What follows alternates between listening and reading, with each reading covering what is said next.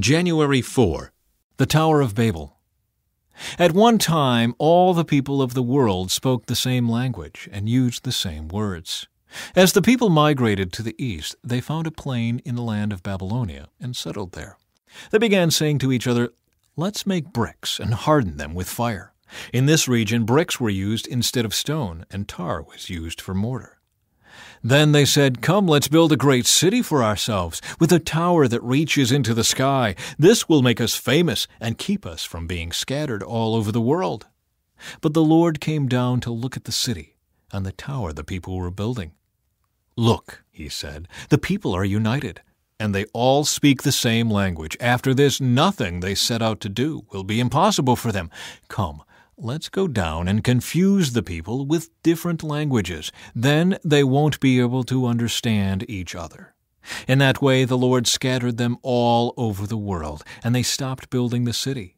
That is why the city was called Babel, because that is where the Lord confused the people with different languages. In this way, he scattered them all over the world. From Shem to Abram. This is the account of Shem's family. Two years after the great flood, when Shem was 100 years old, he became the father of Arphaxad. After the birth of Arphaxad, Shem lived another 500 years and had other sons and daughters. When Arphaxad was 35 years old, he became the father of Shelah. After the birth of Shelah, Arphaxad lived another 403 years and had other sons and daughters. When Shelah was 30 years old, he became the father of Eber.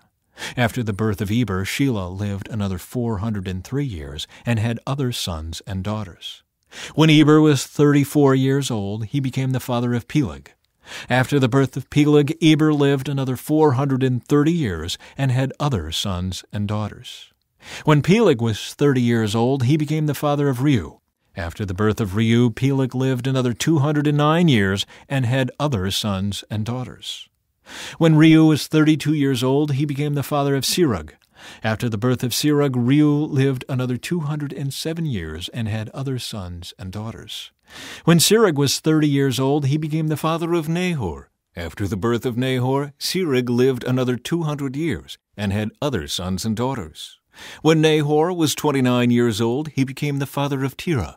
After the birth of Terah, Nahor lived another 119 years and had other sons and daughters. When Terah was 70 years old, he had become the father of Abram, Nahor, and Haran. So this is the family line descended from Shem, Arphaxad Shelah, Eber, Peleg, Reu, Serug, Nahor, Terah, and Abram, later known as Abraham. The family of Terah. This is the account of Terah's family. Terah was the father of Abram, Nahor, and Haran, and Haran was the father of Lot. But Haran died in Ur of the Chaldeans, the land of his birth, while his father Terah was still living. Meanwhile, Abram and Nahor both married. The name of Abram's wife was Sarai, and the name of Nahor's wife was Milcah. Milcah and her sister Iscah were daughters of Nahor's brother Haran. But Sarai was unable to become pregnant and had no children. One day Terah took his son Abram, his daughter in law Sarai, his son Abram's wife, and his grandson Lot, his son Haran's child, and moved away from Ur of the Chaldeans. He was headed for the land of Canaan, but they stopped at Haran and settled there. The Call of Abram. The Lord had said to Abram, Leave your native country your relatives and your father's family, and go to the land that I will show you. I will make you into a great nation. I will bless you and make you famous, and you will be a blessing to others. I will bless those who bless you and curse those who treat you with contempt. All the families on earth will be blessed through you. So Abram departed as the Lord had instructed, and Lot went with him. Abram was seventy five years old when he left Haran. He took his wife Sarai his nephew Lot, and all his wealth, his livestock, and all the people he had taken into his household at Haran, and headed for the land of Canaan. When they arrived in Canaan, Abram traveled through the land as far as Shechem. There he set up camp beside the oak of Moreh. At that time, the area was inhabited by Canaanites. Then the Lord appeared to Abram and said, I will give this land to your descendants. And Abram built an altar there and dedicated it to the Lord, who had appeared to him. After that, Abram traveled south and set up camp in the hill country, with Bethel to the west and Ai to the east. There he built another altar and dedicated it to the Lord, and he worshipped the Lord. Then Abram continued traveling south by stages toward the Negev. Abram and Sarai in Egypt. At that time, a severe famine struck the land of Canaan, forcing Abram to go down to Egypt, where he lived as a foreigner. As he was approaching the border of Egypt, Abram said to his wife Sarai, Look, you are a very beautiful woman. When the Egyptians see you, they will say, This is his wife. Let's kill him, then we can have her. So please tell them you are my sister. Then they will spare my life and treat me well because of their interest in you. And sure enough, when Abram arrived in Egypt, everyone spoke of Sarai's beauty. When the palace officials saw her, they sang her praises to Pharaoh, their king, and Sarai was taken into his palace. Then Pharaoh gave Abram many gifts because of her sheep, goats, cattle, male and female donkeys, male and female servants, and camels. But the Lord sent terrible plagues upon Pharaoh and his household because of Sarai, Abram's wife. So Pharaoh summoned Abram and accused him sharply. What have you done to me? he demanded. Why didn't you tell me she was your wife? Why did you say she is my sister and allow me to take her as my wife? Now then, here is your wife. Take her and get out of here. Pharaoh ordered some of his men to escort them, and he sent Abram out of the country along with his wife and all his possessions. Abram and Lot separate. So Abram left Egypt and traveled north into the Negev, along with his wife and Lot and all that they owned. Abram was very rich in livestock, silver, and gold. From the Negev they continued traveling by stages toward Bethel, and they pitched their tents between Bethel and Ai, where they had camped before. This was the same place where Abram had built the altar, and there he worshipped the Lord again.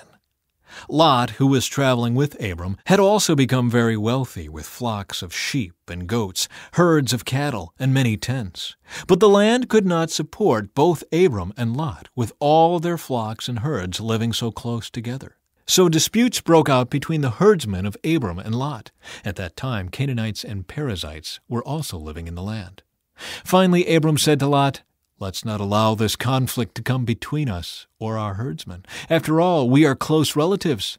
The whole countryside is open to you. Take your choice of any section of the land you want, and we will separate. If you want the land to the left, then I'll take the land on the right. If you prefer the land on the right, then I'll go to the left.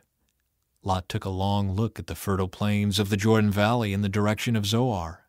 The whole area was well watered everywhere, like the garden of the Lord or the beautiful land of Egypt. This was before the Lord destroyed Sodom and Gomorrah. Lot chose for himself the whole Jordan Valley to the east of them. He went there with his flocks and servants and parted company with his uncle Abram. So Abram settled in the land of Canaan, and Lot moved his tents to a place near Sodom and settled among the cities of the plain. But the people of this area were extremely wicked and constantly sinned against the Lord. After Lot had gone, the Lord said to Abram, Look as far as you can see in every direction, north and south, east and west. I am giving all this land, as far as you can see, to you and your descendants as a permanent possession. And I will give you so many descendants that, like the dust of the earth, they cannot be counted. Go and walk through the land in every direction, for I am giving it to you. So Abram moved his camp to Hebron and settled near the oak grove belonging to Mamre. There he built another altar to the Lord. Abram rescues Lot. About this time, war broke out in the region. King Amraphel of Babylonia, King Arioch of Ellasar, King Chedorlaomer of Elam, and King Tidal of Goyim fought against King Bera of Sodom, King Birsha of Gomorrah, King Shinab of Admah, King Shemeber of Zeboim, and the king of Bela, also called Zoar. The second group of kings joined forces in Siddim Valley, that is, the valley of the Dead Sea. For twelve years they had been subject to King Chedorlaomer, but in the thirteenth year they rebelled against him. One year later, Chedorlaomer and his allies arrived and defeated the Rephaites at Ashteroth Karnaim, the Zuzites at Ham, the Emites at Shaveh Kiriathaim, and the Horites at Mount Seir. as far as El Paran at the edge of the wilderness. Then they turned back and came to En Mishpat, now called Kadesh, and conquered all the territory of the Amalekites, and also the Amorites living in Hazazon Tamar. Then the rebel kings of Sodom, Gomorrah, Admah, Zeboim, and Bela, also called Zoar, prepared for battle in the valley of the Dead Sea. They fought against King Chedorlaomer of Elam, King Tidal of Goyim, King Amraphel of Babylonia, and King Arioch of Ellasar, four kings against five.